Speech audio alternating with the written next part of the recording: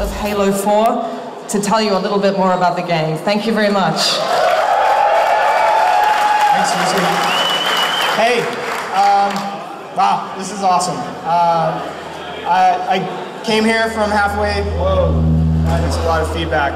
Uh, came here from halfway across the world. This is my first time in Australia, and uh, it's been amazing so far. Sydney's an incredible city, so I'm really, really excited to be with you here tonight and to be able to talk a little bit about the game that we've been working on for the last three and a half years. Um, so for us, uh, Halo 4 has been about, you know, the next chapter in the Halo saga, but it's also about uh, setting up the next 10 years in, in the Halo universe. Um, and, you know, the story of the campaign is, is about bringing back the Master Chief. Because uh, we kind of care about the Master Chief, you know what I mean?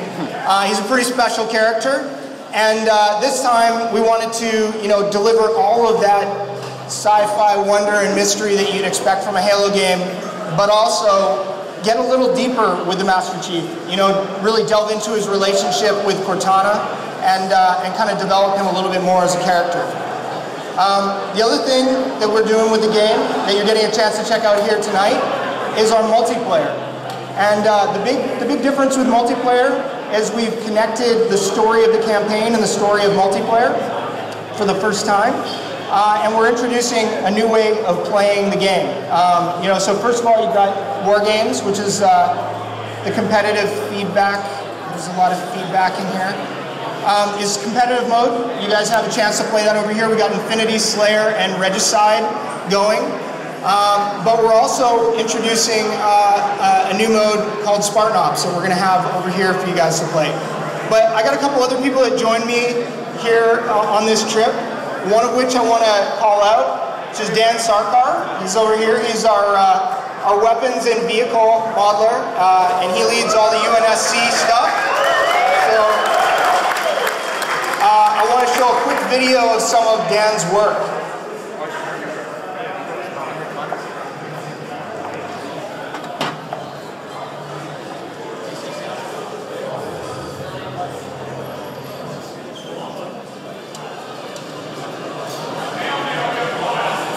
It's pretty quiet, pretty quiet video.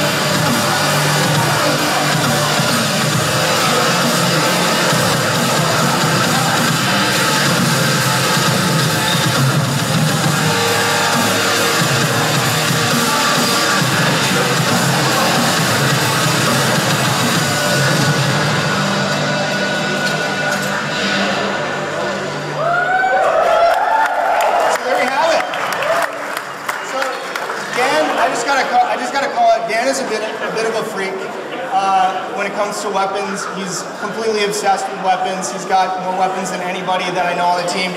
And Dan literally begged me to come on this trip because his whole life he's wanted nothing more than to come to Australia. So had to bring Dan along. And the Halo 4 news doesn't have to end there, so make sure you have annotations turned on and hit the top thumbnail to watch Josh Holmes talk about Spartan Ops and the upcoming series Forward Unto Dawn, or hit the bottom thumbnail to watch him play some never before seen part of the Halo 4 campaign. Check out the description for links of interest. Hit my logo to subscribe. Whoop whoop much motherfucking Wicked Clown love. I'm Evil Snave and I'll kill you later.